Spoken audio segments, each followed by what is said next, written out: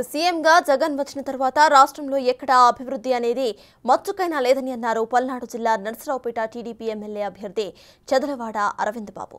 TDP కార్యాలయంలో నిర్వహించిన media సమావేశంలో ఆయన మాట్లాడారు. అక్రమ ఆస్తులను కూడబెట్టుకోవడానికి మాత్రమే వైసీపీ నేతలకు ఐదేళ్ళ పాలనలా ఉందని ఎథేవా చేశారు. వచ్చే ఎన్నికలతో దుర్మార్గపు పాలన అంతం కాబోతోందని అన్నారు. వ్యవస్థలను బాగు చేయటం కోసమే ఉమ్మడి కలయిక అన్నారు. మేనిఫెస్టోని ప్రతి మరి వాళ్ళ తెలుగుదేశం పార్టీ జనసేన బీజేపీ ఉమ్మడి పార్టీల ఆధ్వర్యంలో ఉమ్మడి అభ్యర్థిగా నర్సరావుపేటలో తెలుగుదేశం పార్టీ తరఫున చదలవాడ అరవింద్ బాబు వాళ్ళ అభ్యర్థిగా ఉన్నారు. మరి ఇటువంటి కార్యక్రమంలో మరి ఉమ్మడి ప్రణాళిక ద్వారా తెలుగుదేశం పార్టీ జనసేన బీజేపీ ముగ్గురం కూడా ప్రతి కార్యక్రమాన్ని దగ్గరుండి గడప గడపకు వెళ్తున్నాము. అదేవిధంగా మేనిఫెస్టోని ప్రతి గడపకు తీసుకెళ్ళి అన్ని విధాల ప్రజలకు తెలియజేస్తూ ఉన్నాము.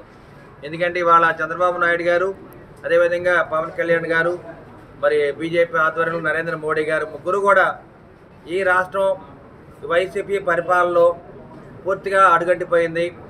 అన్ని వర్గాల ప్రజలు కూడా పూర్తిగా మరి అభివృద్ధిలో వెనకబడిపోయారు వెనకబడిపోయారు కాబట్టి ఈ ముగ్గురు కూడా ఈ రాష్ట్రాన్ని అభివృద్ధి చేయడానికి ఈ వ్యవస్థలను బాగు చేయడానికి వీళ్ళు ముగ్గురు కూడా కలిసి వాళ్ళ ప్రయాణం చేస్తూ రేపు రాబోయే కాలంలో ఎలక్షన్స్లో పోటీ చేసి వైసీపీ ప్రభుత్వాన్ని గద్దె దించడానికి మూడు పార్టీలు కూడా ఉమ్మడి ప్రణాళిక ద్వారా ఇవాళ ప్రయాణం చేస్తున్నారు. అదేవిధంగా రాష్ట్రం పూర్తిగా అభివృద్ధిలో వెనకడు చేసింది.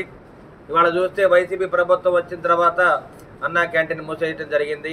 కనీసం ఐదు రూపాయలకి భోజనం చేద్దామంటే అన్నా క్యాంటీన్ కూడా మూసేయటం జరిగింది.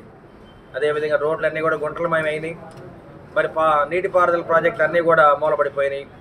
అమరావతి రాజధాని అడుగంటిపోయింది మరి పోలవరాన్ని పాతి పెట్టడం జరిగింది. ఇప్పటికి ఏదైనా మిగిలిందంటే ప- పట్టిసీమ ఒకటి చంద్రబాబు నాయుడు గారు ఆ రోజు దాదాపు రెండు వేల కోట్ల రూపాయలతో దాన్ని మరి ఒక ప్రాజెక్ట్ నిర్మిస్తే ఇవాళ దాదాపు కృష్ణా డెల్టా మొత్తం కూడా సస్యశ్యామలమైంది. అదేవిధంగా జగన్మోహన్ రెడ్డి గారు కూడా వడికశాల పూజ ప్రాజెక్ట్ని పూర్తి చేస్తుంటే కనుక పల్నాడు జిల్లా మొత్తం కూడా మరి ఎంతో అభివృద్ధి చెంది ఉండేది. ఇవన్నీ కూడా బేరీజ్ వేసుకొని ఈ వైసీపీ ప్రభుత్వంలో నిత్యం గంజాయి మ- గంజాయి గుట్కా మద్యం మాఫియాతో రాష్ట్రం మొత్తం కూడా నడుస్తూ ఉంది. అదేవిధంగా ఇవాళ ఎక్కడ చూసినా కానీ భారతదేశం మొత్తం మీద కూడా గంజాయి కల్చర్ ఎక్కడ ఉందంటే ఆంధ్రప్రదేశ్లోనే ఉంది. ఇవన్నీ కూడా జగన్మోహన్ రెడ్డి గారు అదేవిధంగా ప్రభుత్వ అధికారులు వాళ్ళ నాయకులు కూడా వీటిని పెట్టి పోషించారని చెప్పి మీడియా ముఖంగా తెలియజేస్తున్నాము. అదేవిధంగా జగన్మోహన్ రెడ్డి గారు వచ్చిన తర్వాత రాష్ట్రం ఎక్కడ కూడా అభివృద్ధి చెందలేదు.